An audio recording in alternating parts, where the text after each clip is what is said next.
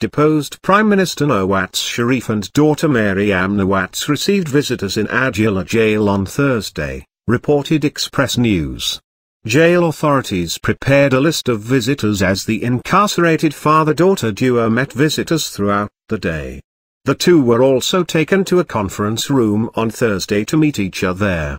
Security was on high alert during the course of the day as visitors met the high-profile inmates politicians and leaders including, Meza Hamid, Kashmala Tariq, Mushahid Hussain Syed, Hazel Joe, Tahira Aurangzeb, Najma Hamid, Irfan Sadiq, Pervez Rashid and former Governor Sindh Mohammad Zubair reached the prison to meet the Nawaz and Maryam.